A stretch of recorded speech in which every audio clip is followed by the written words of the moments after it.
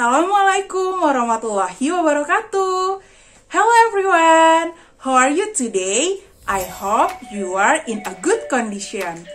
Okay friends, before we start our study today, let's pray together. Please raise your hand. Bismillahirrahmanirrahim.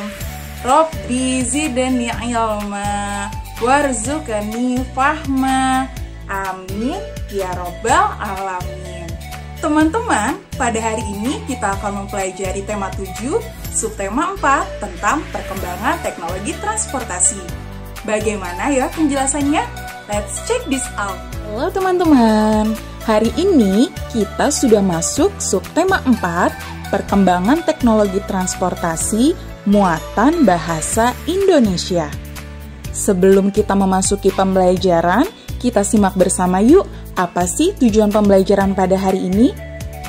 Tujuan pembelajaran yang pertama ialah siswa dapat menemukan informasi tentang teknologi transportasi. Kedua, siswa dapat membuat kalimat menggunakan kata-kata yang berkaitan dengan teknologi transportasi. Teman-teman sekalian, pernahkah kalian naik pesawat terbang atau mungkin kalian pernah merasakan berada di dalam kapal laut atau bahkan kereta api? Semua alat transportasi yang sudah disebutkan tadi dapat menghubungkan dari satu tempat ke tempat lainnya dengan cepat. Hmm, berbicara transportasi, kira-kira teman-teman semua sudah tahu belum ya apa yang dimaksud dengan transportasi? Ya, betul sekali. Transportasi ialah pengangkut barang atau orang dari satu tempat ke tempat lain dengan menggunakan suatu alat. Transportasi sendiri dikelompokkan ke dalam tiga jenis. Yang pertama, transportasi darat, kemudian transportasi air, dan transportasi udara. Sekarang kita lihat yuk, apa saja ya contoh dari macam-macam transportasi tersebut. Yang pertama, transportasi darat. Contohnya, ada kereta api dan juga sepeda motor.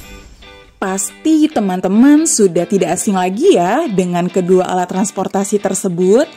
Kita kenalan yuk untuk contoh alat transportasi berikutnya, yaitu transportasi air.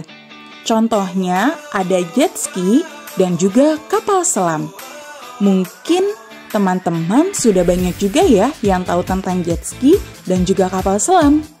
Setelah transportasi air, sekarang kita bersama-sama melihat contoh dari transportasi udara yuk. Contoh transportasi udara, yang pertama ada balon udara dan ada helikopter. Mungkin untuk teman-teman semua, untuk balon udara jarang kita jumpai ya di Indonesia. Teman-teman sekalian, perlu kalian ketahui bahwa alat transportasi yang selama ini kita nikmati sudah melalui beberapa perkembangan loh. Dahulu, manusia bepergian dan mengangkut barang dengan berjalan kaki atau menggunakan tenaga hewan. Seiring berjalannya waktu, alat transportasi pun mulai dikembangkan. Perkembangan alat transportasi dimulai dengan ditemukannya roda. Mulanya, roda dipasang hanya pada kereta kuda dengan adanya roda, mengangkut barang atau penumpang terasa menjadi lebih mudah dan juga lebih cepat. Kebutuhan manusia akan bepergian pun semakin meningkat. Manusia pada akhirnya mengembangkan berbagai jenis alat transportasi. Setelah roda ditemukan, mesin uap pun ditemukan. Sejak ditemukannya mesin uap, kendaraan bermesin mulai berkembang manusia juga mengembangkan berbagai jenis alat transportasi seperti motor, mobil, dan juga kereta api. Kemudian, setiap alat transportasi pun terus berkembang setiap tahunnya. Kecepatan mobil yang pertamanya hanya sama seperti kecepatan berjalan manusia, kini memiliki kecepatan melebihi 200 km per jam loh teman-teman.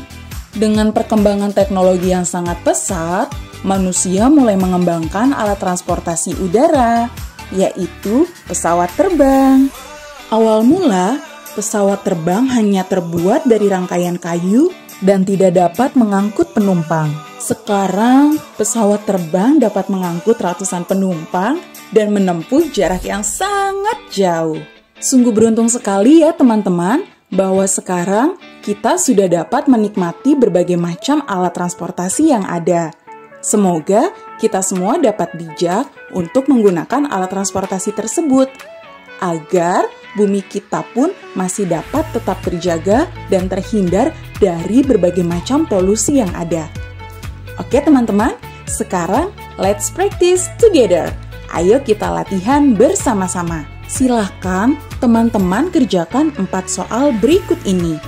Nomor satu, sebutkan tiga transportasi darat.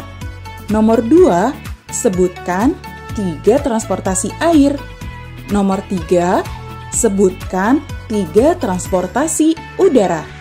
Nomor 4, buatlah kalimat menggunakan kata A.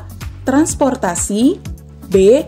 Sepeda Selamat mengerjakan ya teman-teman Bagaimana teman-teman?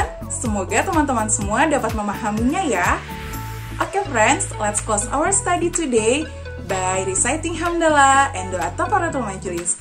Alhamdulillahirabbil alamin. Subhanakallahumma wa bihamdika asyhadu alla ilaha illa anta astaghfiruka wa atubu ilai. Tetap jaga kesehatan ya teman-teman. See you later, insya Allah. Wassalamualaikum warahmatullahi wabarakatuh.